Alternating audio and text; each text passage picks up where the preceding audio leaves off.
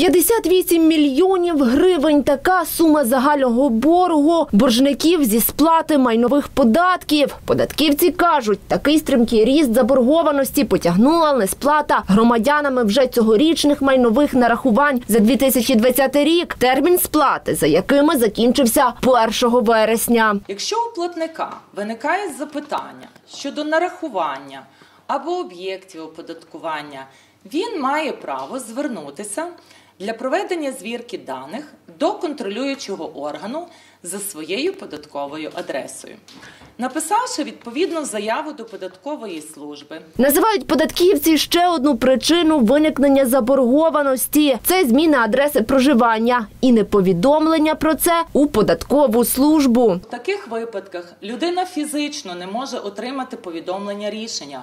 Однак борг за цим е, платником буде облікуватися, а також будуть нараховуватися штрафні санкції.